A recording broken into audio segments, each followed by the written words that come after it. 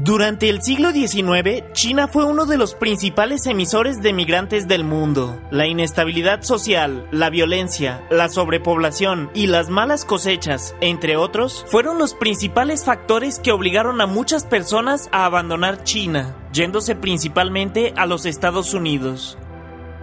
Mientras tanto, en México, el entonces presidente Porfirio Díaz fomentaba la migración, sobre todo en el norte desértico, para poblar las tierras y que éstas fueran trabajadas. Algunos ciudadanos chinos llegaron a Baja California, Sonora y Sinaloa e inmediatamente se pusieron a trabajar en los cultivos, construcción de ferrocarriles e infraestructura, o como vendedores, mostrando algunas aptitudes y costumbres sobresalientes que hicieron prosperar rápidamente los poblados a donde llegaron. Entre otras, podían trabajar bajo climas extremos de una manera sumamente disciplinada, rápida y por un bajo salario. Su estilo de vida, austero rozando en la miseria, les permitió ahorrar y abrir negocios diversos, por lo que era común que el chino que en la mañana trabajaba como agricultor, por la tarde vendiera verduras en un carrito ambulante y durante las noches atendiera un restaurante de comida china. La presencia de los chinos en el noreste fue tan importante que la capital de Baja California, Mexicali, fue prácticamente creada, construida e impulsada por los chinos.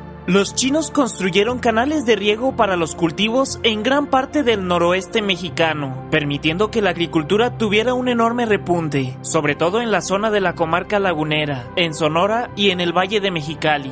El éxito de los cultivos fue tal que al poco tiempo la mano de obra que se demandaba sobrepasó la disponible, y aunque había mucho trabajo, los mexicanos del resto del país se negaron a moverse al noroeste, dado el clima extremo de la zona, dejando pasar la oportunidad que sin embargo sí fue tomada por los chinos, que siguieron llegando al lugar.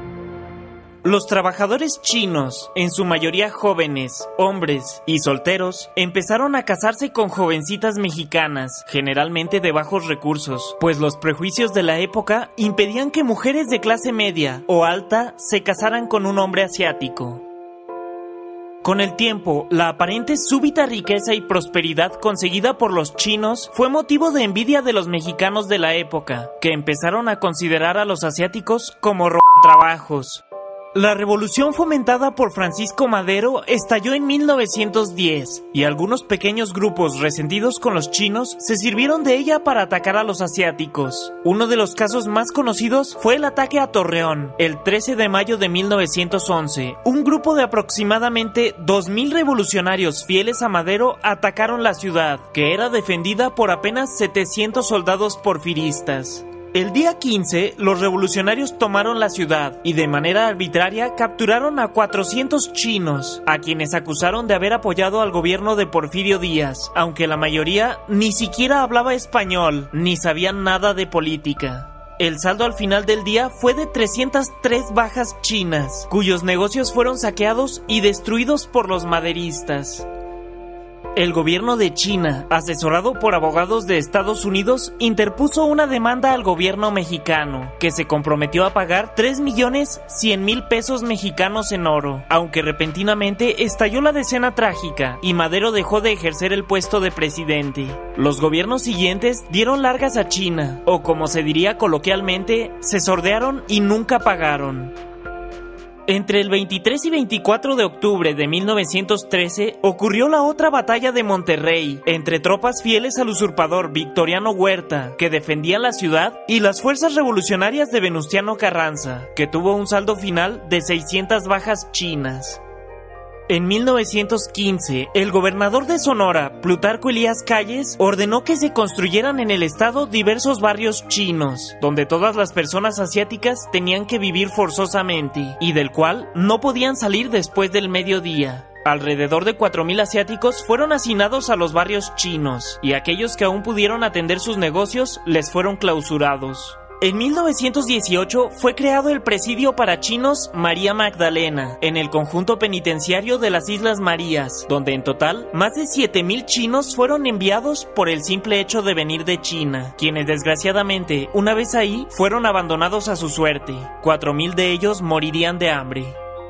El denominado movimiento antichino en México llegó hasta la presidencia, pues el manco de Celaya, Álvaro Obregón, emitió las siguientes limitaciones para la comunidad china en México. Se prohibía el matrimonio entre chinos y mexicanos. Se prohibía la entrada de chinos a museos y restaurantes. Se prohibía que los chinos vendieran comestibles. Los chinos no podían acceder a puestos públicos. El movimiento antichino continuó hasta 1934, cuando Lázaro Cárdenas ordenó poner fin a la xenofobia asiática, y México recobró su prestigio como un país hospitalario, aunque la inercia ocasionada durante años de odio provocó que el movimiento antichino no se erradicara efectivamente hasta finales de la Segunda Guerra Mundial. Quizá ahora podemos comprender mejor la posición de los chinos en México a inicios del siglo pasado, ya que actualmente México es uno de los principales países emisores de migrantes del mundo. Actualmente la relación con China es buena. Vendría bien fomentar el comercio con la potencia asiática para disminuir la influencia de los Estados Unidos en la economía mexicana, aunque esto bien puede ser un arma de doble filo. ¿Qué piensas al respecto? ¿Será que no supimos ver los beneficios de una migración tan pacífica y productiva como lo fue la China? ¿Habrían alcanzado las ciudades del noroeste un gran apogeo de no haber expulsado a los chinos? ¿Debería el actual gobierno de México disculparse con el gobierno chino por los sucesos ocurridos hace más de un siglo, tal como lo plantea el presidente? Para mí, Watchers, yo soy Snooty Aaron.